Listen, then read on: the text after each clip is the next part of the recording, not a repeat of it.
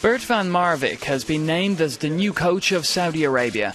The Dutch trainer who led the Netherlands to the 2010 World Cup finals has signed a one year contract. His first game in charge will be a World Cup qualifier on September 3rd at home to East Timor. Meanwhile, over in Germany, the Bayern Munich players slipped on their lederhosen for a team photo to celebrate the club's sponsorship by a local brewery. Pep Guardiola's side had plenty to smile about after winning both their league openers this season. The same couldn't be said for the Qatari champions Lekhwiya, who lost the first leg of their AFC Champions League quarter final against Al Hilal from Saudi Arabia. It was a day to forget for the team's goalkeeper, but most of all for this embarrassing mistake. The game ended Al Hilal 4, Lekhwiya 1.